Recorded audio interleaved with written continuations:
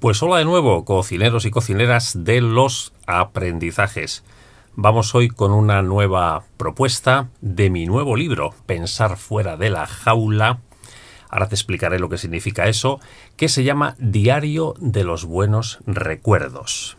¿En qué consiste esta dinámica o este ejercicio? Objetivo propiciar el interés de los participantes por crear buenos recuerdos en su vida, así como recuperarlos con facilidad en su memoria. De ahí la importancia de anotarlos en un diario de buenos recuerdos, que en el futuro les sirvan como reservas de capital emocional para los momentos difíciles o para recuperar el sentido y el propósito vital cuando se debilita y se desdibuja. Algo que nos puede pasar a todos, ¿verdad? Utilidades de esta dinámica pues sirven para todo tipo de personas, y especialmente a las personas que en la actualidad están experimentando vacío existencial, o falta de sentido de la propia vida, o las relaciones interpersonales y proyectos compartidos que se vuelven monótonos y sin motivación o estímulo para seguir. ¿Y cómo se facilita, cómo se hace esta dinámica? Pues es muy sencillita.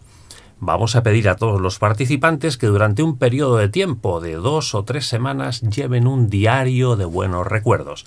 Mejor si es una libretita del estilo de esta, ¿no? Que se vea que es un diario, que no sea un papel cualquiera, ¿vale?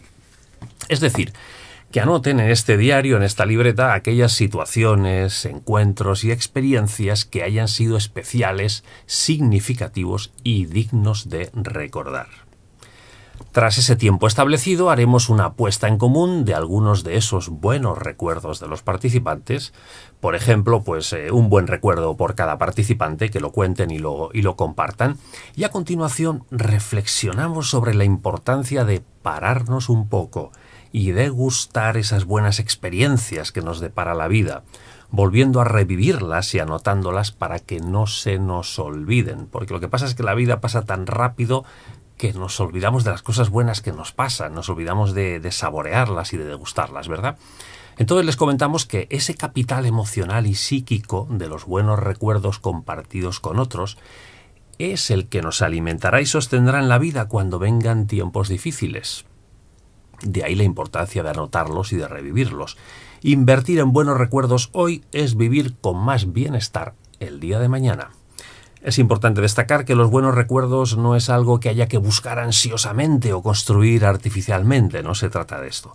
Tampoco se compran, ¿eh? porque suelen ser experiencias no materiales.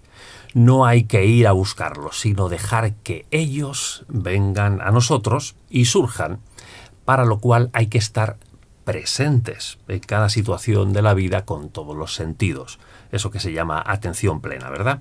Saboreando la vida y disfrutando de ella y de las personas que nos acompañan.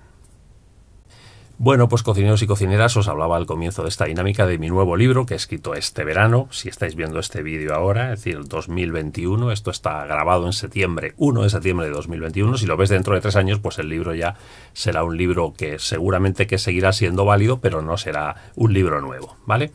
podrá ser un clásico dentro de algunos años. Bueno, pensar fuera de la jaula, dinámicas y ejercicios para liberar las potencialidades humanas. Eh, son todo dinámicas, ejercicios como este que os he contado, con esa misma estructura ¿no? de objetivos, utilidades y facilitación en todas las dinámicas. Esta es un poco la, novedad.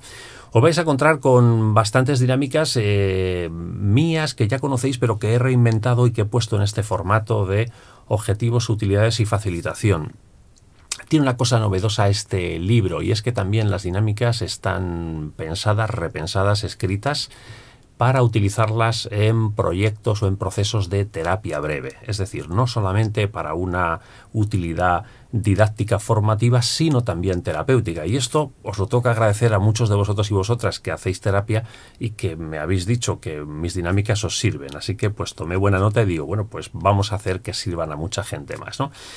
¿Por qué pensar fuera de la jaula? ¿Por qué una jaula? Bueno, pues me acordé de la famosa jaula de hierro de Max Weber, del sociólogo Max Weber, con la que de alguna manera quiso él mm, representar eh, esa burocracia, esa racionalidad de la vida que se nos mete en todos los aspectos de nuestra vida, por supuesto en el trabajo, en la organización, etc., pero también en las propias políticas de la vida, en la educación, incluso hasta en la propia terapia, que a veces es demasiado racional y demasiado estructurada, ¿verdad? Entonces, bueno, pues me parecía un título interesante, ¿no? Porque al final lo que propongo son esto, dinámicas ejercicios para liberar las potencialidades humanas. Se trabaja mucho desde la metáfora, desde el hemisferio derecho, y esto automáticamente nos da las claves y las llaves para eh, salir fuera, fuera de la de esas, de esas jaulas de racionales de la de la posmodernidad, de la burocracia, etcétera, etcétera. Bueno, en la introducción del libro cuento un poquito más de esto. Cocineros, cocineras, os animo a que llevéis vuestro diario de los buenos recuerdos, porque es un ejercicio que podemos hacer eh, todos y que nos va a ayudar a dar más sentido a nuestra vida, a vivir con más plenitud y sobre todo pues a tener esas reservas de capital psíquico que nos ayudarán en el futuro. Hasta la próxima.